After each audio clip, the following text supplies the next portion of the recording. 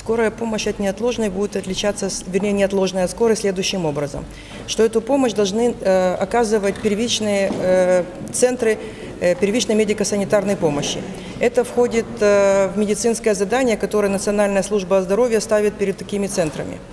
Они в своей работе э, руководствуются тем, что в каждом центре нужно организовать такой пункт медицинской помощи.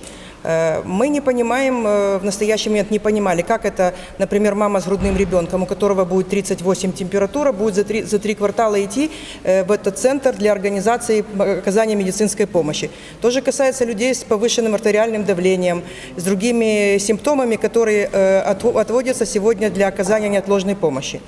Поэтому было принято такое решение организовать городскую неотложную помощь в круглосуточном режиме для того, чтобы врачи могли выезжать э, при необходимости непосредственно к жителям города, у которых э, произошел э, случай неотложной медицинской помощи.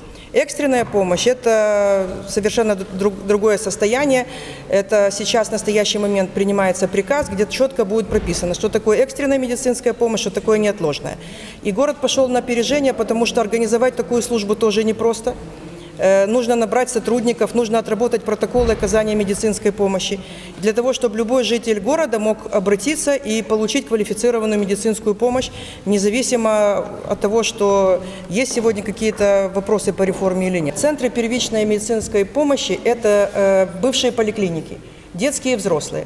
Значит, поликлиники детские остались э, поликлиниками, но в них есть первичная помощь, а все наши бывшие поликлиники, они реформированы на сессии городского совета э, в коммунальные предприятия, неприбыльные коммунальные предприятия. И именно на эту службу э, в реформе здравоохранения э, возложены обязанности по оказанию медицинской помощи. При каждой поликлинике будет э, медицинский транспорт. Э, Будет установлен график дежурств в зависимости от необходимости и в зависимости от э, состояния в настоящий момент необходимости э, совершения выездов.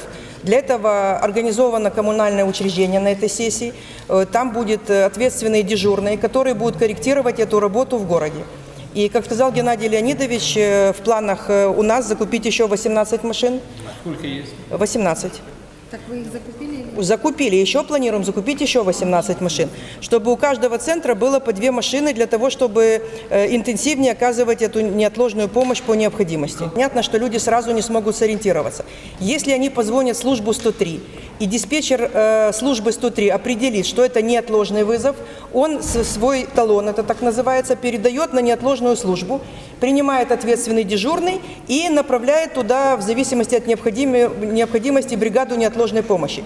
Если на неотложную помощь, э, номер, который мы э, будем, так сказать, забронировали, будем реализовывать, 1550, поступит экстренный э, вызов, тогда наш диспетчер будет это на, не- на на экстренную помощь отправлять этот талон и будет осуществляться тогда помощь экстренная.